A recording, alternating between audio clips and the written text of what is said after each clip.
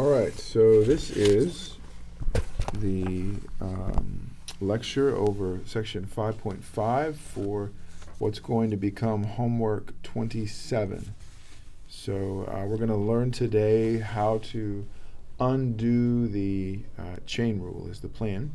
First though, I want to introduce you to some notation. So back in chapter 4 we learned about the uh, antiderivative of a function and the general antiderivative of a function, but I didn't introduce to you this notation. So the indefinite integral of a function, you just write down the integral symbol uh, of the function, but you don't put bounds on it. There are no bounds.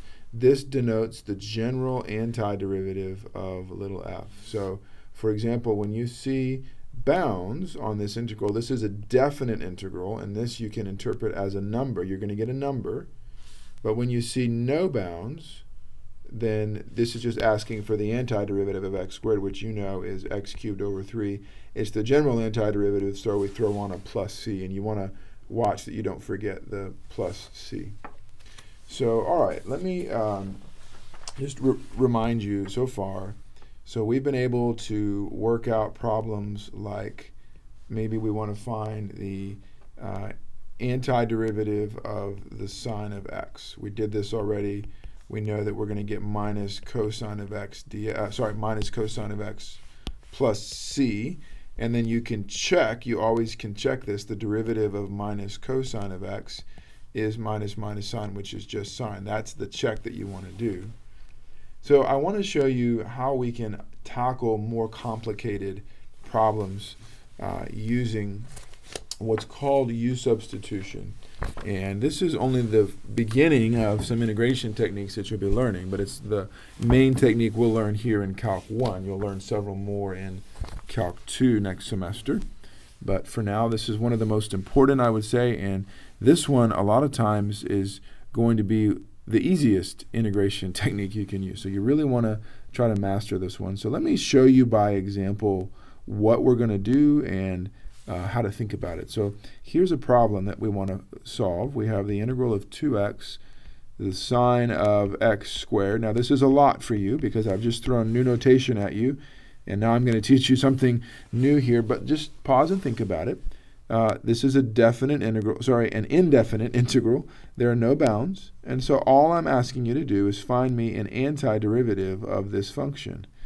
But you should sort of panic a little bit because, gosh, there's a product here, there's function composition going on.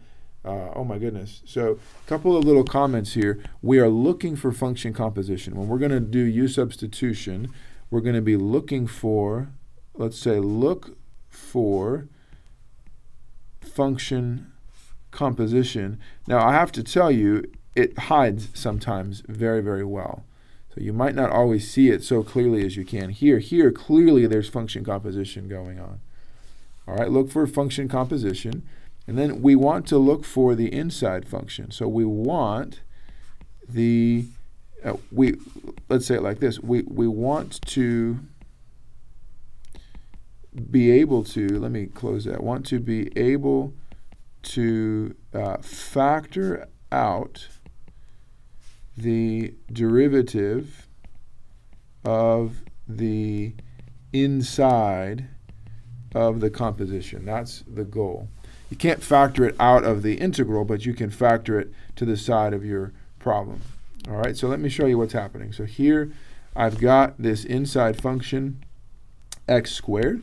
And so I'm going to go ahead and call that u. I'm just going to write down u equals x squared. And I'm going to take the derivative and I'm going to say, okay, so du dx is just 2x. I'm going to do something a little bit weird though. Uh, we usually write du equals 2x dx. And you might be saying, yeah, but du dx, this isn't a fraction. You can't just move that over. Uh, actually, you, you can. There, there are reasons why that this is work. This works. I'm, I'm not going to get into it, but I just want you to write du equals the derivative and then dx. Okay, and our goal is to transform this integral entirely in terms of u. So if you look now, I've got my hands on a u, that's the inside function, and I know what the derivative of u is. There it is. And so watch what happens now. I can take this problem and I can write this as the integral of the sine of u, and then I know that 2x dx is just du. So this becomes the sine of u du. And you might be thinking, well, what does that do? Well, I know what the antiderivative of the sine of u is. That's just minus cosine of u plus a constant. And now I wait. I say, okay, but I had a problem in terms of x, not u. What do I do? Well, I'm going to plug in what u was. u is x squared. So this is minus cosine of x squared plus c. Now, surely it wasn't that easy. Let's see if this works. So let's check now. We're going to do a check. You can always check these. The derivative of minus cosine of x squared is, well, chain rule. It's going to be sine of x squared times the derivative of the inside times 2x, which is exactly what we had. So this technique works. Um, let's do one more example, and then we will uh, work out another. Uh, we'll, we'll we'll break up the video, but let's let's squeeze one more in and work it out. I, I would really encourage you as we go along to try and pause the video on each problem and see if you can do it, or at least get yourself stuck. That'll really help you learn the techniques rather than just watch them but not actually understand. So why don't you pause the video and try and figure out what u is for this one. So I'm going to show you a technique that I actually don't like, but a lot of students do, and so in an effort to make this easier for you guys, I'm looking at this problem and I can see, hey, there's my inside function. That's a good candidate for u. So I'm going to set u equal to x to the fourth plus 2, I'm going to compute du is 4x cubed dx. I don't like doing this, but a lot of students like to solve for dx, and you can write dx as du over 4x cubed. And now you just make the substitution. You say, okay, so this is equal to the integral of x cubed cosine of u, and then dx is du over 4x cubed. And now it works out nicely because the x cubes cancel, and then you know you've got it. So you can write this as 1 quarter, pull the quarter all the way out of just cosine of u du. So the advantage is if you pick the right u, then the x's all fall out. I don't like it because I don't like leaving x's and u's in the same problem, but it's fine. Uh, a lot of people seem to prefer this, so um, we'll do it that way. Well, gosh, the antiderivative of cosine of u is just sine of u, so we get a quarter sine of u plus our constant c. That's our antiderivative.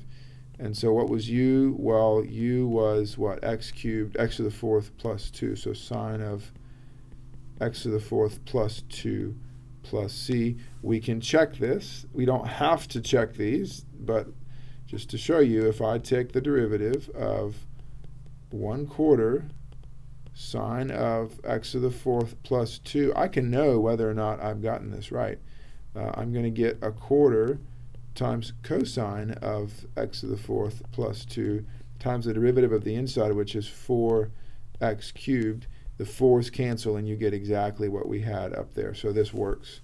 Uh, we did find our antiderivative. So one more time to be very clear here, uh, when you're given a problem like this, this is an indefinite integral, your answer is going to be a, a, family of functions. You want to get that plus c on the end. And when you take the derivative of this, that should equal the inside function right here. And we are doing what's called u substitution. And we're looking for function composition, and we're able to undo it using sort of the backwards chain rule. So let's tackle another problem. Um, let's just keep working these out. Actually, I think I promised I'd break the video up. So we'll break the video up, then we'll dive into another problem.